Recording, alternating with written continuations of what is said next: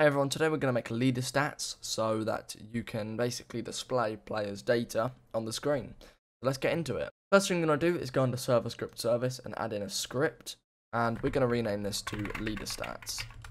Now, to do this, we need to, first of all, we need to call a function when a player joins the game. To do that, we need to say game.players, so that is this here, uh, dot player added, so whenever a player joins the game, we need to say colon connect function, and this will now call a function whenever a player joins. If you don't know what a function is, it's basically a block of code.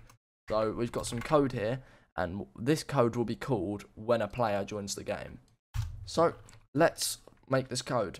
What we need to do is create a local leader stats variable. So local leader stats equals instance.new folder.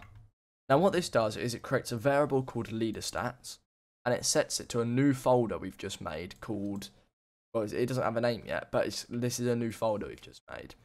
Now when, in these brackets after the function we need to add in the player or plr for short.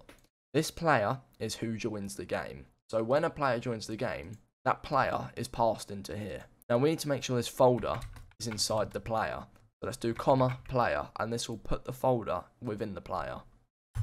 Now we need to say leader stats dot name equals leader stats. And it has to be spelled like this all lowercase. Otherwise it will not work. And that has now made our leader stats folder. If we were to hit play you would see under players here we find our name and we have a folder called leader stats. Now let's go and give ourselves some coins do that, we need to say local coins. That's what I'm going to call this. I'm just going to call it coins. You could call it money, anything you want. Equals instance dot new, and this is going to be an int value. So that an int is, or it stands for integer, is a whole number. And rather than putting this one inside the player, we're going to put it inside the leader stats, like so. Now let's give these coins a name. So coins dot name is going to be equal to, I'm going to call it coins and we need to give it a value. So coins.value, by default, I'm going to give them 50 coins. If we were to hit play now, we've got 50 coins up here. And that is basically it. That's all there is to it.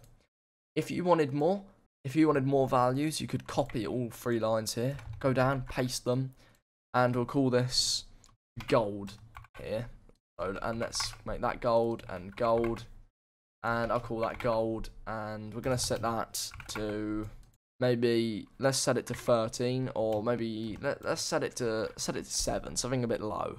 And now if we hit play we've got two values. You can have up to three values i believe it's free i think it's free at once. I be oh dear. Um so we go 50 coins and 7 gold. Now if you want to change that you can click up where it says current client. Go under players leader stats under your name uh, and go under view and then properties click either the coins or the gold and you can change them in here. Like so and then I might change the gold to 14 and now if we go back to test and click current server it'll go back to the client. And you can see it's changed. And that's all there is to it. That is how you make leader stats in Roblox. Now if you want to know how to save these values so when the player leaves and rejoins the game we've got a video on that. It's called data stores. You can find that video top right of the screen now or in the description and it will teach you how to make it so when the player leaves the game and rejoins, they keep their values, which of course here we don't because we don't have that script. But if we did, then they would be able to keep the script. So make sure you go check that video out if you want to learn how to save this data. And I'll see you in the next video, everyone. So thanks for watching and goodbye.